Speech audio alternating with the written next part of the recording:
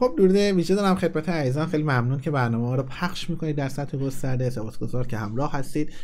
اتفاقات اتفاقات و گفته بودیم برنامه ساخته بودیم و خوشبختانه در بحث حیمنه و هژمون دریاییمون رو داریم دیکته می‌کنیم به دنیا و الان اتفاق بزرگی که افتاده. امروز هم دو تا برنامه راجبش داریم و ناو مکران و سهند ما ورود پیدا کردن به اقیانوس اطلس و به یاری اهورامزدا به زودی معمولیت بزرگ تمدنی خودشون رو انجام خواهند داد که احتمالا محموله ای هست که به دست ونزوئلا برسه که شاید این ونزوئلا با اون محموله بتواند در آینده بفهماند به برخی ها که اینگونه نیست که بیاید در تنگه هرمز ما. اگر تنگه هرمز ما میای ایراد نداره ما کانال پانامات میایم. و با تو کانال پاناما می‌تونیم همونطور که تو می‌تونی کرم بریزی تو خلیج فارس ما ما می‌تونیم توی کانال پانامات حالا حالا حالا حالا. حالا در آینده خواهیم دید. من اجازه از تصاویر غرور آفرین ناو مکران و سهندمون تصاویری منتشر شده که تصاویر رو ببینیم. و همزمان با اینکه ناو مکران و سهند ما ورود پیدا کردن به آبهای آزاد اقیانوس اطلس یه اتفاق بزرگ تمدنی دیگه رخ داد که حالا اونا تو برنامه دیگر خواهم گفت. اما هشدارهای جدی دریادار بزرگ ایران سیاری که تمام بدنش پر از ترکشه به خاطر دفاع از ایران. و این دریادار بزرگ اومد و صحبتهایی رو مطرح کرد. صحبت های ایشون رو باید گوش کنیم چون مهمه. و ببینیم که در کنار اینکه ناوهای ما وارد اقیانوس اطلس شدن تهدیدهای آمریکا داره شدت می‌گیره.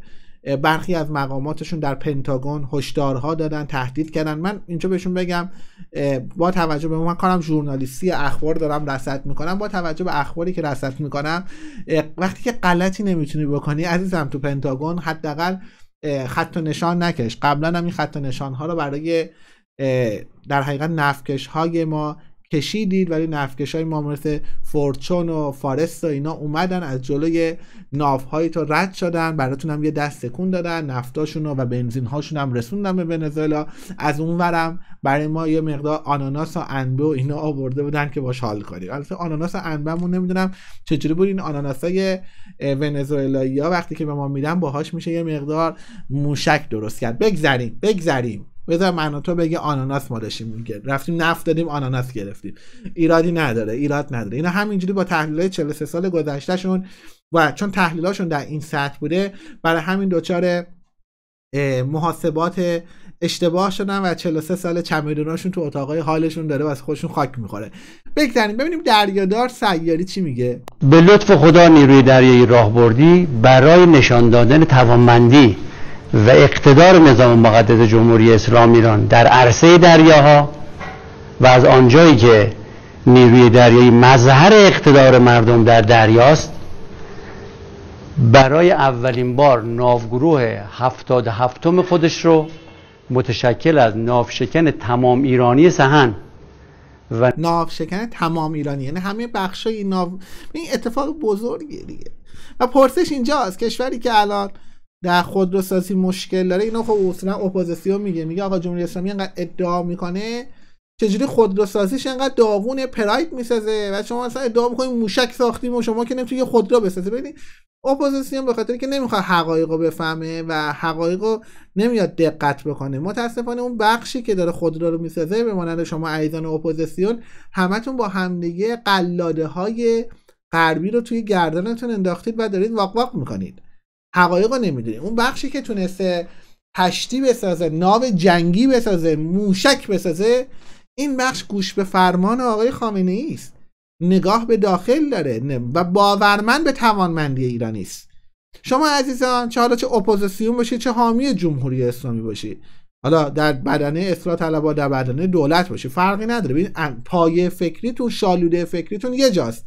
نگاه به غربه و هر دو دسته چه برانداز باشید چه حامی جمهوری اسلامی باشید باورمند به توانمندی ایرانی نیستی.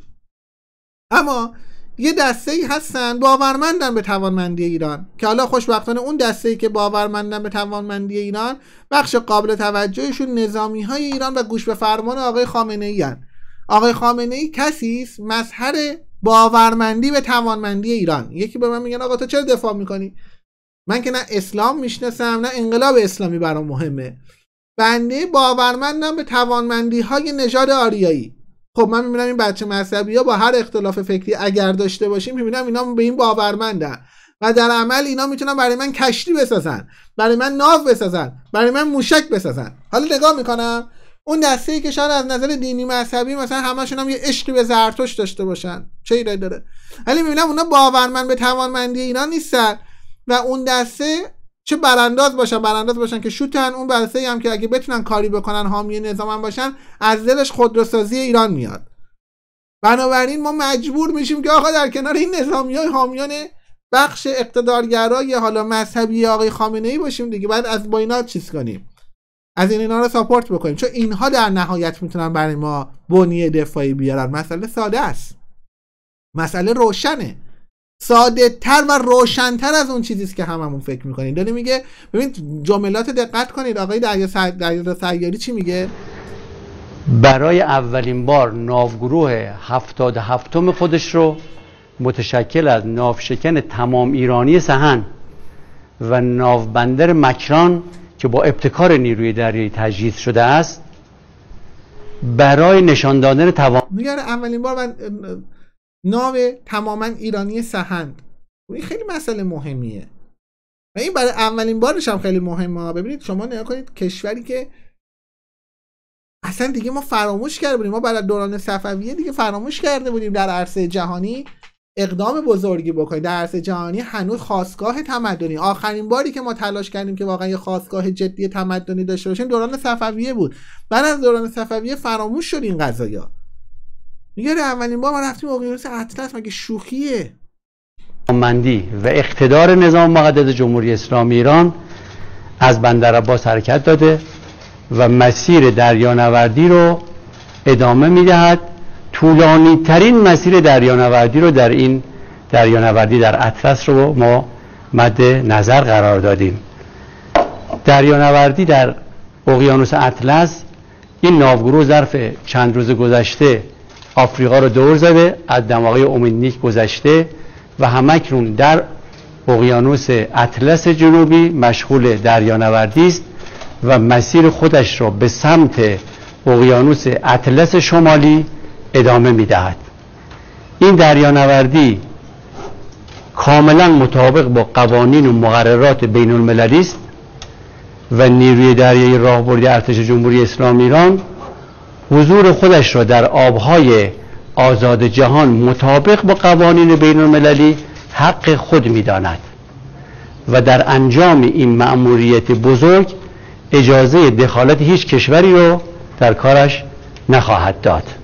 خب ببین این خیلی مسئله مهمیه که در سیاری با این صلابت هم تهدید می‌کنه اینها رو و میگه که ما اجازه نمیدیم هیچ کشوری هم بخواد دخالت بکنه و خیلی جالب معمولیت خودشان هم مشخص نمی‌کنه. بیشتر آمریکایی رو تو تب و تاپ میندازه خیلی اینا رو بیشتر عصبی می‌کنه. صدای آمریکایی به ویژه مقامات پنتاگونشون خیلی در اومده که چجوریه که ایران داره میاد و چجوری شما این همه ببخشید ناو ابراهام لینکن اینا می آوردی یاد رفته ناو ابراهام لینکن هم اومد؟ هواپیماهای بم افکن بی 52 رد شد و میره میا حق غلطی دلتون می‌خواد می‌کنید.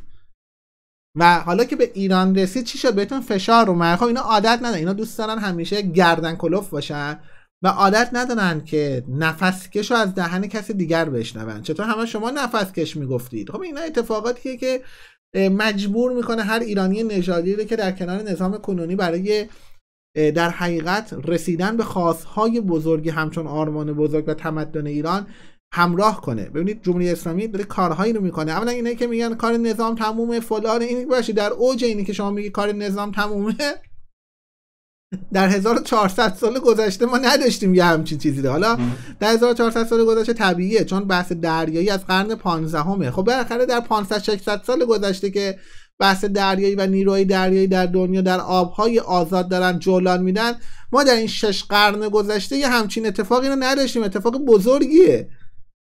خب چجوری جمهوری اسلامی کارش تمومه ولی در شش قرن گذشته برای اولین بار یه همچین کار بزرگی رو داره می‌کنه؟ نه جمهوری اسلامی اتفاقا سیلی روحانی به گوش نظام باعث شد که جمهوری اسلامی نگاه دقیق تری به مسئله سیاسی داشته باشه.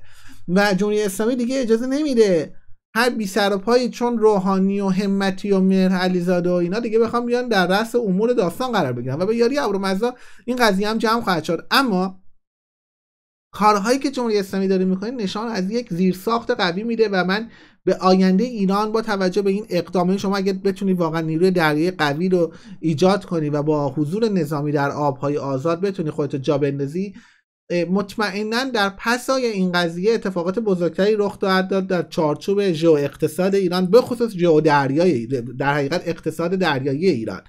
ما اکونومی خیلی گسترده ای در این حوزه می‌تونیم بیایم و اکونومی ایران رو واقعا بهبود ببخشیم. مسئله دریایی مسئله مهمی است مسئله دریایی ربط مستقیم بر تجارت بزرگ داره. چون شما اصلا خیلی از تجارت های بزرگ با هواپیما نمی‌تونی انجام بدی. همش دریایی است. تمام کانتینرهای بزرگی که می‌تونه کالا جابجا کنه دریایی است. با هواپیما کسی این کارا رو نمی‌کنه که اجناس کوچک و ارزان قیمت عموما با هواپیما جابجا می‌کنن. و کارهای بزرگ اقتصادی با حوزه دریایی انجام خواهد شد و خوشبختانه ایران داره در این حوزه جدی میره. ولی اهدافی که حالا این کشتی کشتی ایران ناوهای ایران به مانند سهند و مکران دارن انجام میدن در اقیانوس اطلس اهداف بلندی رو دارن دنبال می‌کنن که در یک بخش دیگری از برنامه میگم. ولی اینجا دو تا کدواژه میدم. کانال پاناما قایق تندرو ونزوئلا.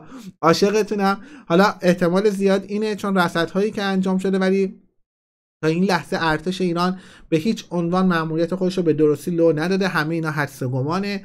بریم ببینیم که شاید هم تیر مشقی باشه فقط بخواد خیلی ها رو بترسونه. فقط اومده یه دوری بزنه ببینه چه خبره خیلی ها رو سکته بده. فعلا هیجان انگیزه تا بدونیم که ناوهای ایران در نهایت چیکار می‌خوان بکنن. خیلی ممنون که این برنامه رو توجه کردید. سپاسگزار که در سطح گسترده این برنامه رو پخش می‌کنید. سپاسگزار که ما رو ساپورت می‌کنید و سپاسگزار از همه عزیزانی که چه مثبت چه منفی به این برنامه می‌پردازن. پاینده باشید و بدرود.